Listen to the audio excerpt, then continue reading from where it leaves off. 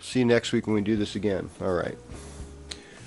Greetings, Aries. Welcome to your horoscope. So, we've got Mars and Leo. It's um, rocking it this weekend at about 21 degrees, 22 degrees. So, it's moving forward. One of the things I remember Dane Rudhyar, famous astrologer, had for, I think it was a 21 or 22 degree position of Leo was um, drunken chickens um, in their first flight or something like that. And it was just the, the craziest image. Um, I live in a college town, and there's actually a few colleges here, and they're you know, there's always those drunken chicken incidents, only it's drunken people.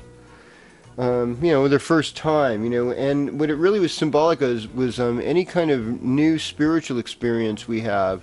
There's an exuberance and an awkwardness, and that's what the drunken chi- chickens actually signify. So for Aries this week, it's about letting go of our egos, letting go of initial plans, but also saying our frustrations and our setbacks are actually an adventure. So, how can we be more adventuresome, more loving, more open hearted, and more creative during these times? And also, with, with your eighth house activated, it activates the imagination too.